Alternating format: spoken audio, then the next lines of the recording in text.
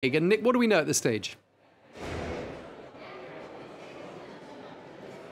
The impression we're getting is that neither of the two big blocks, the center left or the center right block, has won outright. The big news tonight is really a breakthrough of a completely new party led by a former Prime Minister, Lars Løkke Rasmussen. It's called the Moderates Party he's in a position to be kingmaker between those two blocks. Uh, the election was called early, seven months early, by the Prime Minister, Mette Frederiksen, because one of her coalition partners was unhappy about how she dealt with the cull of minks, the animals that make coats uh, in Denmark. 15 million were killed during the COVID pandemic because of a fear that the COVID vaccine could, uh, virus could get into their systems and somehow make it impossible to vaccinate people. Turned out it was illegal to kill them all, so the coalition partner over the summer said new elections were called. The Prime Minister, however, pointed out that, well, things had changed. There was an international crisis, war in Ukraine, energy prices were up, and that if Parliament wanted an election, well, she wasn't necessarily in favor. In any case, the election went through. The Social Democrats of Mette Frederiksen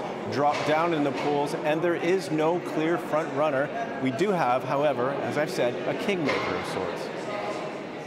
And just tell us, uh, Nick, what were the uh, issues that voters had at the forefront of their minds as they cast their ballots? I'd like to tell you about one thing that was not for once in a long time, that's immigration.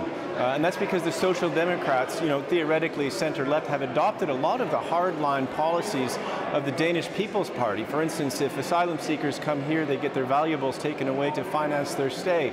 Mette Frederiksen, the Prime Minister, has been negotiating with Rwanda to basically lodge asylum seekers while their claims are processed. It's not in the, in, in hasn't come into reality yet, but that's the direction they're heading. One of the most hardline policies on immigration in Europe. So what's left is basically people's concern about healthcare, about the environment, and about security and defense. And that bar, if you look at the graphs, is at its highest level in 30 years, and that is, of course, because of the war in Ukraine. Russia is not too far away. That pipeline, that uh, Nord Stream 2 pipeline that linked Russia to Germany was blown up not far off a Danish island on, in Danish territorial waters, really focusing the minds of Danes on the security situation and sort of getting them out of their um, well, if you will, their parochial or local concerns. Uh, it should be said, you know, that Denmark is often rated as the happiest country in the world, but there's a real feeling of tension, I think, and uncertainty about the international climate, and a lot of that, I think, has motivated voters, certainly the ones that I spoke to uh, who were casting their ballots in Copenhagen today.